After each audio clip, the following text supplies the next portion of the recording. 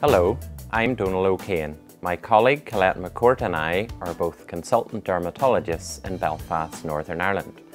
We are delighted to have this opportunity to tell you about our British Association of Dermatologists guidelines for the management of cutaneous lupus. Cutaneous lupus refers to a spectrum of skin disorders with common clinical and laboratory findings. It is caused by an interplay of genetic factors, autoantibodies and the environment and can occur alone or as a manifestation of SLE. As cutaneous lupus is relatively rare, there are a lack of high quality studies defining the best treatments.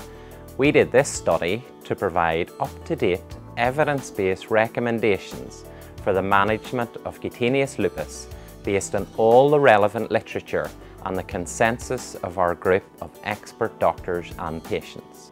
The Guideline Development Group established clinical questions and outcome measures pertinent to the scope of the guideline. A systematic review of the literature up to December 2020 was then performed and based on the evidence drawn from the literature and guideline group discussion, a series of recommendations were produced and rated according to the GRADE approach. We have produced a set of recommendations to guide safe, effective treatment of cutaneous lupus. Lifestyle management includes sun protection, vitamin D supplementation and smoking avoidance.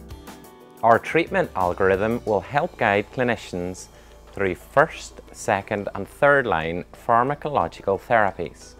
We also provide guidance on identifying SLE in patients with cutaneous lupus.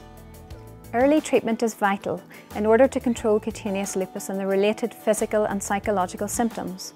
The ultimate aim of this guideline was to ensure patients receive optimal treatment based on safety and efficacy early in their disease journey.